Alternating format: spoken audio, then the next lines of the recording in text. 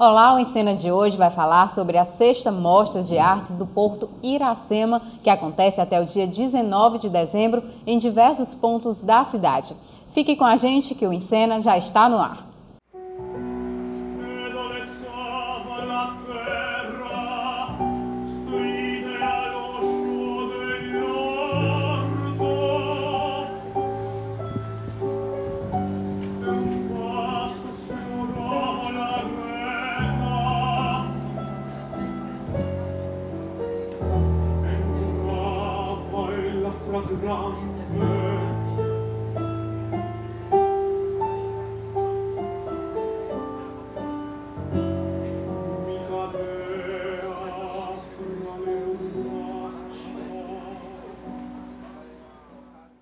E sobre a mostra, a gente conversa agora com Andrei Bessa, ele é coordenador do Laboratório de Teatro do Porto Iracema, e também com Ricardo Tabosa, que ele é do grupo Bagaceira. Tudo bem, pessoal? Tudo, Tudo ótimo. Obrigado.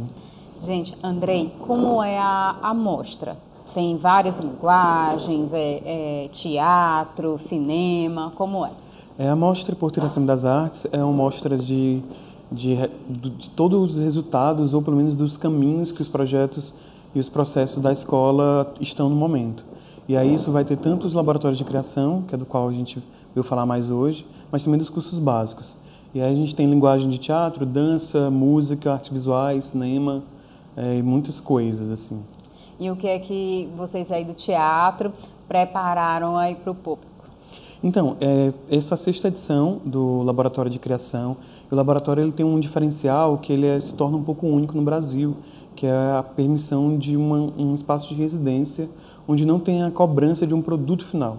Então, os grupos eles entram para desenvolver suas pesquisas sem necessariamente sair com um trabalho pronto, acabado como a priori, né? Todo todo mundo da cena acaba tendo desejo de criar e desenvolver cenas, mas a pesquisa ela é o foco principal. Então, nessa mostra, a gente tem quatro aberturas de processos que ainda estão em ebulição. Então, é um momento ótimo para o público e para outros artistas criar intimidade com esses artistas, com essas questões. E todos esse ano, não, não, não, não foi por acaso, mas são questões políticas muito fortes, cada um em seu momento, né? cada um levantando, levando para um, para um lado. Mas é muito importante mesmo que a gente possa ter esses espaços de estar junto. E vocês é, selecionaram esses grupos? Como é essa parte? Então, essa, né, nessa sexta edição, a gente teve 55 projetos inscritos em todo o estado do Ceará para desenvolver dentro do laboratório de teatro. Cada, cada linguagem teve seu, seu número, né? E desses 55, quatro foram selecionados é, por diversos critérios, fatores. Tem que fazer uma seleção bem apurada, porque é, 50 para sair de 4, né? E, é, não é fácil, porque é um projeto de uma pesquisa que vai acontecer. Então não é um, um, um, projeto onde tem um espetáculo já acabado, onde vai apenas mostrar, ou que já tem um caminho já, já consolidado. É uma pesquisa que, vai, que, que ainda está por, por nascer. Então tem muita subjetividade, tem muitas questões né, em jogo e o recorte também é muito importante. Então a gente tem um projeto, por exemplo, que se apresentou no dia 11 de dezembro, é, que é de um grupo lá do Crato, que também tem integrantes de Fortaleza. É, tem um outro projeto que, que já trouxe questões mais do feminino. É, temos questões sobre o fim político, temos questões sobre o fim da, da, da água, a questão, a questão da crise hídrica. São temas bem atuais, né? Que são, esse ano, sobretudo, foram bem discutidos, né? É, é com certeza. O Ricardo, ele é do Grupo Bagaceira, que também está participando aí da mostra. Como é participar? É, a gente está com o um projeto chamado Inventário para Poéticas Futuras. E aí está trabalhando lá no laboratório desde junho, não é isso? Junho. E aí a gente tem a oportunidade no Porto Iracema, no laboratório, de convidar um tutor, que é uma pessoa que vai acompanhar a pesquisa durante esses sete meses. Ele vem à Fortaleza, é o Alexandre Dalfarra, que é um diretor e dramaturgo paulistano. É, ele é de um grupo chamado Tablado de Arruá e faz trabalhos individuais também. E aí a gente está trabalhando com ele desde junho, ele vem à Fortaleza é, várias vezes para acompanhar esse processo desde o começo até a etapa final agora em dezembro, quando a gente participa da mostra e ele vai estar tá aqui com a gente para mostrar esse processo final assim desse desse período de pesquisa, porque a gente pretende estrear um espetáculo a partir dessa pesquisa no ano que vem.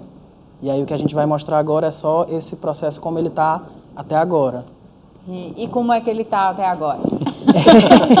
tá maravilhoso, tá muito rico. É, o Bagaceira tem 18 anos já de, de, de estrada, né? Então, é, o projeto tratava sobre o fim do grupo, com, com todo esse, esse caos político e social. A arte, acho que é um dos primeiros, um dos primeiros pontos mais grupo, frágeis, né? Assim. É, e aí, esse fantasma do fim do grupo estava rondando a gente já há muito tempo, muita dificuldade para para manter a sede que a gente tem, né, é, os integrantes, trabalho. isso. E aí a gente deu de cara com esse fim, assim, e resolveu encarar o fim de frente. E aí a peça meio que o, o ponto da pesquisa é esse, o fim do grupo. E aí a peça não exatamente vai falar sobre sobre isso, é, mas isso é um mote primeiro para a gente pensar uma mortes, perspectiva de futuro, assim. Isso, isso. E mortes simbólicas, mortes reais e mortes que a gente vê acontecendo nesse momento todos os dias, né? O grupo hoje tem quantos integrantes? Somos cinco integrantes, tem também uma secretária, a gente mantém uma sede há 10 anos, 11 anos, a sede, a Casa da Esquina, e é lá onde a gente vai apresentar esse, esse processo. E eu acho esse destaque importante, assim, no caso do Laboratório de Teatro, é que dois grupos eles vão receber e vão mostrar suas pesquisas na sala onde eles desenvolvem suas pesquisas. Então não vai ser em um teatro, vai ser abrir as casas, abrir as portas das casas mesmo. Então, no caso do, do Bagaceira, é na Casa da Esquina, e do Pavilhão é na Casa Absurda, que é uma nova sede deles. É, e eu acho que isso não é apenas um, um acaso, assim. Ele também é um elemento dramatúrgico. É abrir, abrir as portas para receber o público nesse, nesse espaço onde é criado, onde é concebido, enfim, é também um ato político.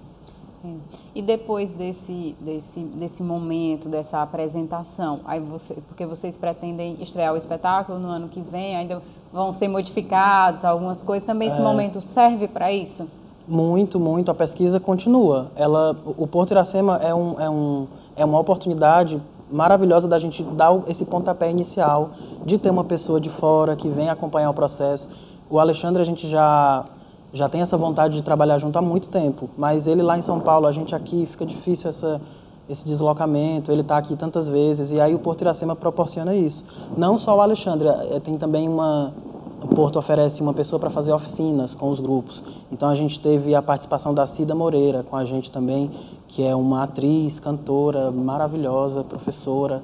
E aí, junto dessas pessoas, com o grupo, essa troca, essa interlocução, assim, continua em ebulição mesmo depois que o processo acaba. Assim. Depois de dezembro, tudo isso que foi gestado durante esse tempo continua é, borbulhando e vai com certeza aparecer no, no espetáculo.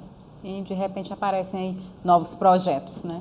Sim, sim. E Andrei, e esses, esses, esses projetos, como você falou, em alguns locais, né, serão apresentados e quais os horários, quem pode participar?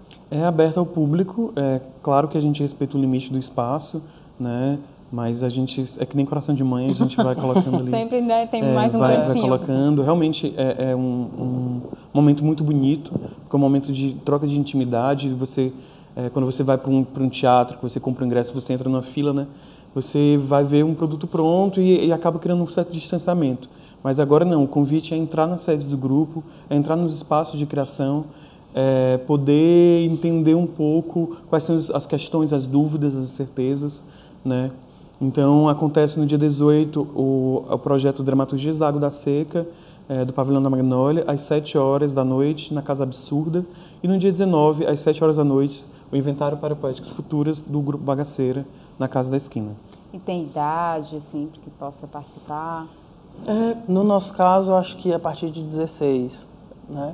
No, no, caso do pavilhão, não, não sei. É, como. o pavilhão também, mas, mas esse, essa idade ela é mais por questões é, da sensibilidade da cena, Sim, por uma entender. censura prévia, assim. É. Porque são, são, não é um trabalho acabado, é um trabalho é, que está ali, que precisa do outro, então, mais por termos espectadores né, dispostos e, e interessados no que está tá acontecendo é, cidade acaba sendo mais, mais próxima. Né? É. E já aconteceu de alguém que foi assistir, porque tem gente que só gosta do, do teatro, mas não tem envolvimento e depois acabar é, envolvido com o teatro, acabar indo lá para o Porto?